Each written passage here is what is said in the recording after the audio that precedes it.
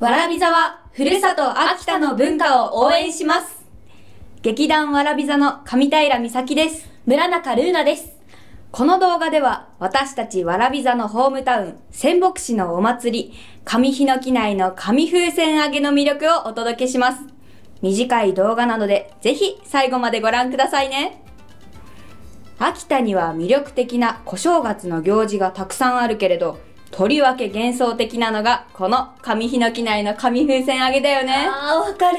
冬の透き通った夜空に明かりの灯った大きな紙風船がいくつも浮かぶ様は、まるで絵本の世界だもんね。ねえ。この紙風船は近くで見ると大きいの。長さは3メートルから8メートル。大きいものでは12メートルもあるの。12メートル、そんなに大きいんだ。そういえば、紙風船には絵や文字も書かれているよね。そう。紙風船には武者絵や美人画が書かれているけれど、もともと無病息災、五穀豊穣、家内安全など、その年への願いを込めて行われるお祭りなの。祭りの由来は諸説あるけれど、江戸時代の科学者である平賀源内が熱気球の原理を応用した遊びとして伝えたと言われているの。平賀源内？江戸時代の有名人がこんなところで繋がってくるのはなんか面白いね。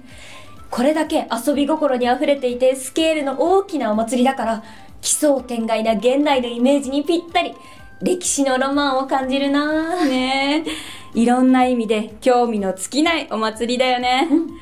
この動画をご覧の皆様も、ぜひ、上日の木内の紙風船揚げにお越しください。とにかく寒い季節なので、暖かい服装でいらしてくださいね。お待ちしてまーす